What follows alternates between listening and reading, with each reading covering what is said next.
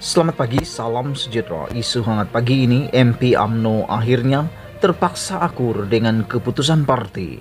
Berita sepenuhnya, MP AMNO akhirnya terpaksa akur dengan keputusan parti, kata penganalisis. Ahli Parlimen Barisan Nasional BN yang mesra dengan kerajaan pimpinan Perikatan Nasional tidak mempunyai banyak pilihan selain akur terhadap parti yang mahu menarik sokongan terhadap pentadbiran Perdana Menteri Muhyiddin Yassin kata seorang penganalisis.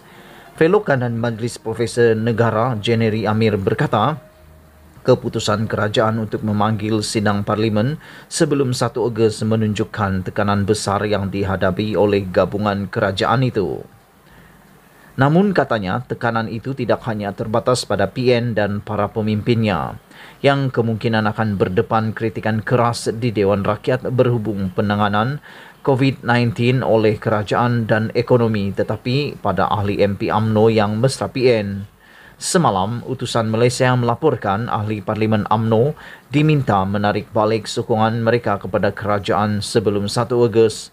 Laporan itu yang memetik sumber berkata Presiden AMNO Ahmad Zahid Hamidi merancang untuk mengemukakan usul kepada Majlis Kerja Tertinggi MKT Parti itu untuk menarik balik sokongan kepada kerajaan dalam waktu terdekat.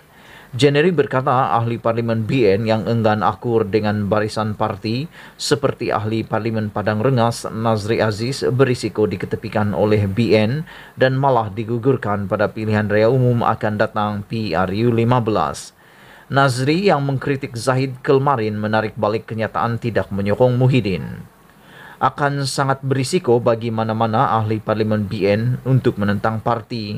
Tetapi dengan itu, BN atau MP AMNO khususnya perlu fikir masak-masak sebelum bertindak terutama memandangkan situasi COVID-19.